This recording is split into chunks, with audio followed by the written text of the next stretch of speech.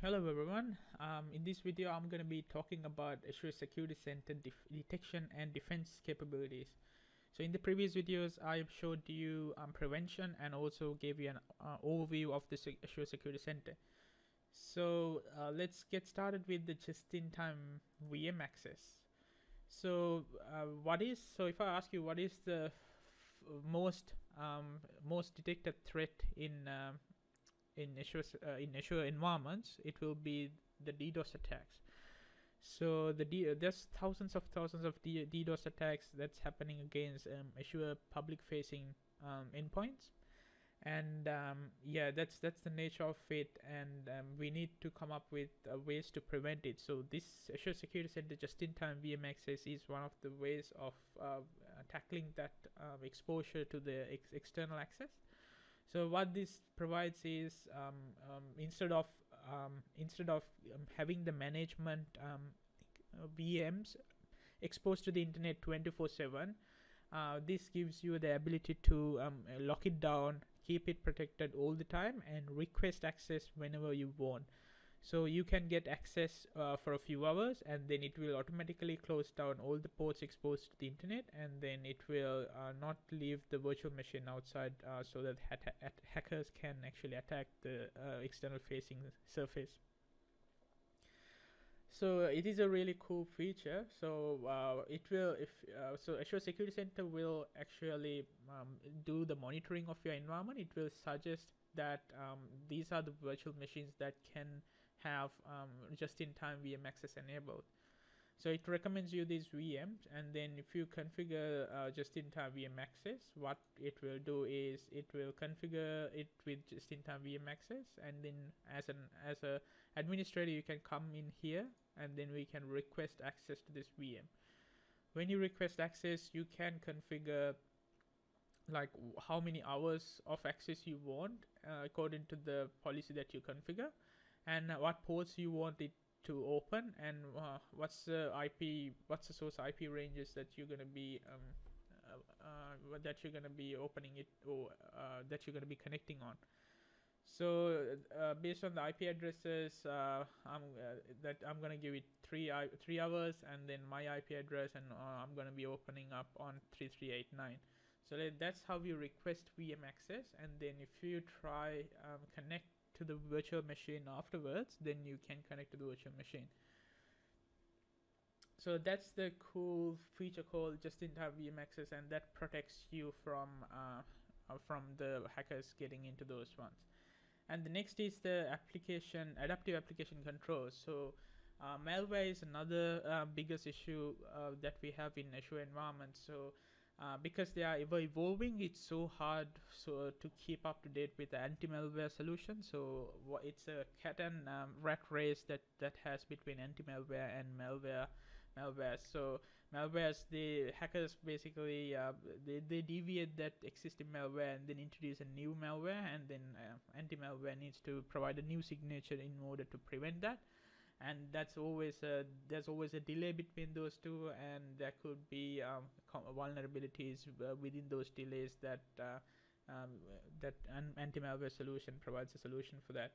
So the Microsoft Security Center Azure Security Center provides this new feature called adaptive application control which is a different way of tackling that same same um, behavior or same threat um, so what it does is it whitelist all the applications that and services running in your servers. And it uh, it creates a baseline of services that's allowed in your environment. And then uh, you have the ability to fully manage the uh, the whitelist or the applications that's allowed and keep control of what what processes to run uh, within your environment. So this way uh, uh, this way like um, you know like any anti-malware or any other untrusted applications that is uh, uh, that is uh, um, like if someone wants to run an untrusted application then they won't be able to run it uh, it controls so um, app control controls the applications that's run within the servers. And um, yeah that that way you are having your environment more secure than uh, being uh, preventive from anti-malware so like like I said, it's it's again uh, it will uh, Azure Security Center will uh, monitor your environment. It will recommend um, servers to enable this. Um, unfortunately, I don't have anything in my environment right now. But it will monitor all the processes. It will, uh, first of all, it will go through auditing phase rather than blocking any applications, and then that will give you uh, management capabilities to create a baseline what services you want to run in in the environment, and then uh, push out the uh, policies and then you can go into a um, prevention mode so that you can stop uh, other services being running. So that's those are the uh, defense capabilities that's introduced in the security center. Uh, let's talk about the detection. So azure uh, security center detection capabilities they are powered by um, azure um, Azure uh, intelligence service as well, where uh, it looks at security for uh, for Business, um, your uh, Xbox Live, and etc., which is uh, which is a fully scalable, globally distributed cloud application. So, um, so this global threat intelligence um, uh, within Microsoft, um, they they are aware of all the security threats that are happening globally, and they feed that information into into the Microsoft um, security center as well. So Security Center uses machine learning and all this uh, intelligence data, and also it does the behavioral um, analytics as well, um, and then it gives you alerts based on based on the previous behavior as well. Uh, which which is uh, which is not bombarding your email accounts or anything. It is very intelligent. It is uh, it's it's prompting only the alerts that are critical for you.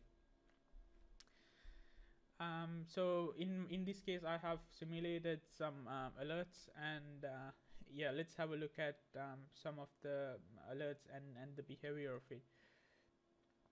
Um, so these alerts, um, the good thing about is like you can go into an investigation part. So here I have created a suspicious um, process, and uh, it has highlighted to me that there was this command line that was executed, which is a, a suspicious process. And the username who executed it and etc so you can go into an investigation path uh, where it will show you which server uh, created in a uh, in a graphical interface and uh, very intuitive. So this is the server name and this is the thread that was detected. This is the user account that uh, actually triggered that uh, that that activity. So if you look into this there are a few few user accounts that are involved in this server uh, but uh, actually this user is the one that is connected with this activity.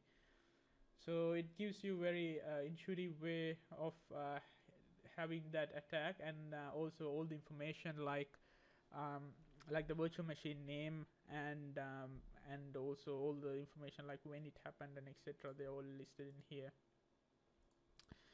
Also um, some brute force attacks that is detected on this server which is a public facing server.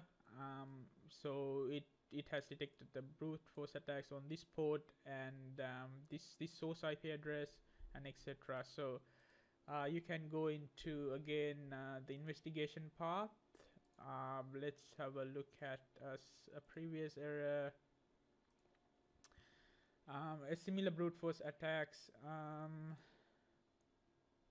unfortunately, the uh, the investigation path is not available at this time, but usually it does provides you the same investigation path uh, with a with a GUI uh, that shows you where the attacks came from and etc which is pretty good. So that's the, the, detection capabilities and this way it provides you the most attack resources in your environment. So that's this one this VM is actually um, leading um, with the two alerts that it has. And apart from that it gives you a summary of, uh, of your detection capabilities so that's all um, all the security centers out of this in uh, in this video. Um, and we'll talk about the um, uh, the extendability of uh, security center and also automation side of things in the next video. Thanks for watching this video